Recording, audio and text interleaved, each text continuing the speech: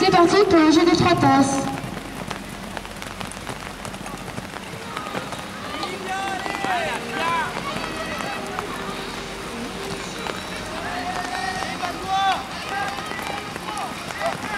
Petit problème pour Lydia.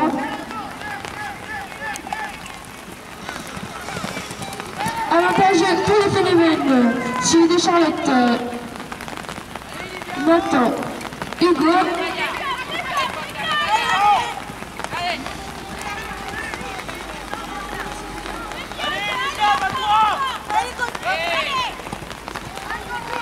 Serré entre Quentin et les phénomènes. Et ce sera arrivé en tête de Quentin, suivi de Violaine pour les phénomènes. Mathilde pour les Moyettes, Quentin pour Quentin Hugo.